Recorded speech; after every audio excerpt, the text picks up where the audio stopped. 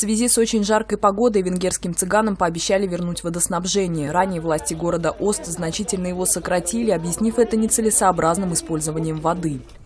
Цыгане составляют 7% от населения страны, а также треть всех жителей Озда.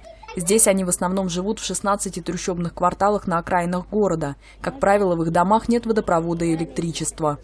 За водой ходят на общественные колонки, однако уже некоторое время более половины из них стоят сухими, либо вода еле течет. Ограничить ее подачу постановил мэр города Ост. Говорит, местные жители злоупотребляют бесплатным водоснабжением, что является сильным ударом по городскому бюджету. Теперь же, когда цыгане стали жаловаться на нехватку воды в жару, которая установилась в стране на прошлой неделе, центральные венгерские власти обязали мэра временно восстановить водоснабжение.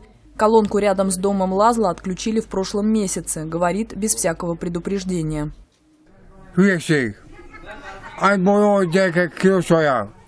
Отключить воду просто сумасшествие. Вот дети, они привыкли плескаться в воде, но теперь мы вынуждены ходить за ней намного дальше, на другие колонки. Георгий, у которого пятеро сыновей, жалуется, что вынужден ежедневно часами стоять в очереди за водой, напор которой очень слабый. Да я наплюю целое ведро быстрее, чем оно наполнится из колонки. Большое мэру спасибо. В следующий раз он отключит нам воздух.